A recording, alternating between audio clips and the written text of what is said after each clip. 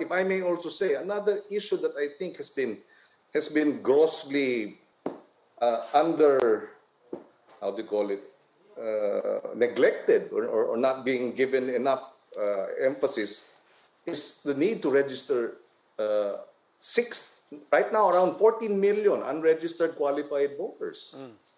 Um, mostly youth and students. So, so that I think more than sino ba ang magiging kandidato, kasi yung deadline nun, October. Pero yung deadline ng pagre-rehistro, September 30. Di ba? Eh, eh parehistro natin yung mga hindi rehistrado. Marami dun sa mga hindi rehistrado, kabataan, estudyante. Around, our estimate in 2019, around 10 million uh, voters ages 18 to 29 aren't registered. I think that should be the primary focus at this time. All those who are concerned about what's happening in the country, lahat ng mga nagsasabing bakit ganito ang vaccine rollout, bakit isinara yung ABS-CBN, bakit ipinasa yung anti-terror law, bakit ang daming walang trabaho, ginugutom, bakit inuuna yung China, lahat yan. Kung concerned tayong lahat, magparehistro tayo. Gamitin natin yung ating kapangyarihan. And I think that should be uh, the first order of business for anyone who wants uh, citizens' action and involvement and participation to be meaningful in 2022.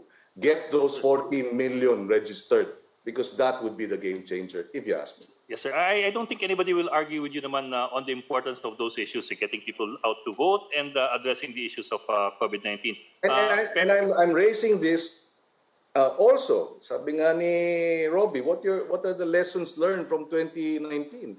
This is precisely the key issues uh, and lessons learned in 2019. Get those young people to register because they're not registered and address the concerns of the citizens.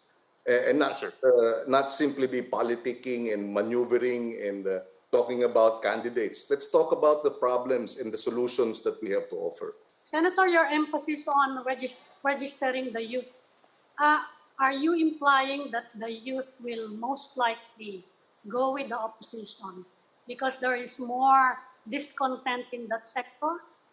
With You know, the youth, the youth, sabi nga nila, if, you know, if you're not a communist, di Or there will be more, uh, uh, yeah, they will want more, the youth, youth, The youth have- want change, di ba? historically, generational, the youth have always been anti-government. Let's put it that way. Youth, I mean, not all, no, but a huge sector of the young young young population are always anti-establishment. And more, And and and, and in, in and in 2019, you know, in over 20 mock elections throughout the country, the Ocho Derecho were always in the top 10 in these university mock elections. Always in the top 10. And it turns out when we made our estimates based on the Philippine Statistics Authority uh, census and data, and based on the COMELEC data, we've estimated 8 to 10 million uh, voters ages 18 to 29, the youth. 8 to 10 million young eligible voters did not register in 2019. And that, can you imagine, sabi ko nga, can you imagine if those 10 million registered, even just half, baka bukas pa ang ABS-CBN ngayon dahil Kongreso ang nagpasara eh. Yung mga nahalal na ah, ang ah, nagpasara niyan.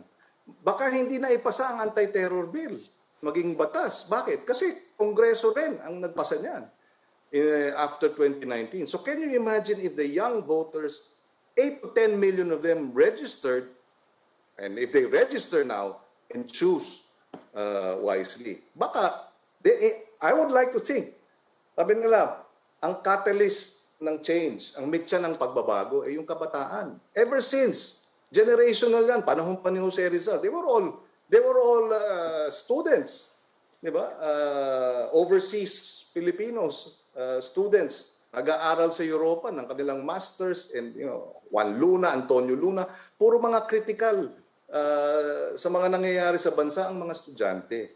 So, nasa kamay nila. Kaya ako napaka uulitin ko. Tsaka na natin pag-usapan yung mga kandidato, pag-usapan natin yung botante. Get them, lalo na yung kabataan, to register.